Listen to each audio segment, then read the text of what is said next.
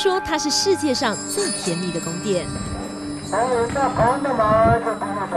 每年藏历九月二十二日降神节前，布达拉宫总会进行粉刷美颜，好迎接佛祖释迦牟尼重返人间。数百信众不分男女老少，自发前来当旗匠。路上是三天，一两天一从大巴车过来的，自发都过来。我们现在主要是那个。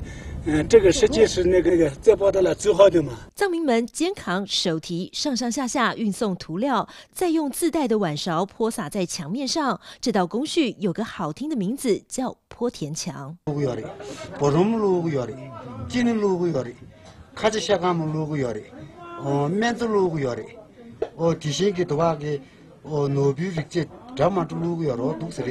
布达拉宫粉刷用料十分讲究，得指定使用产自拉萨羊八井的白灰、木竹工卡线的红土和泥木线的黄土，因为土质细滑、粘性强，还要加热兑入适量的牛奶、红糖、蜂蜜、牛骨胶等，让涂料光鲜亮丽，牢牢附着在墙体上，不易脱落，并添加藏红花来去除异味。这个牛骨胶之类的，就按一定的。比例来进行这个配置，主要就是为了增加这个颜料的粘性。这些古法配方传承至今已超过三百年。过去这些原材料都是藏民根据自身经济条件送来奉献，但为了合理配比不浪费，几年前布达拉宫改用统一采购，不再接受捐赠。按照习俗，从白、红、黄宫依序粉刷，最后才轮到门窗边框上色。若采用传统手工泼喷抹方式，得花一个多月。现在与时俱进，在人力无法抵达的地方，由管理处人员化身蜘蛛人，使用电动喷枪来处理，大大缩短工期，只要十天左右。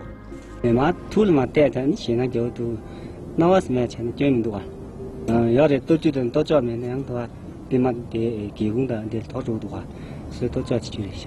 它因为石头跟石头之间如果有缝隙的话，如果我们涂好的话，它就会把那个缝隙给挡住。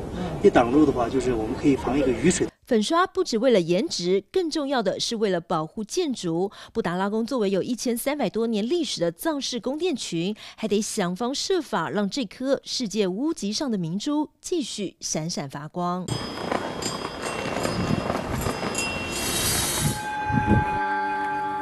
七座铜流金宝顶，象征吉祥如意的金床宝瓶，融合了藏、汉、蒙汉南亚多元文化艺术风格，但经不起常年风吹日晒、雨水侵蚀，一度出现鎏金脱落发黑，内部木构件腐朽。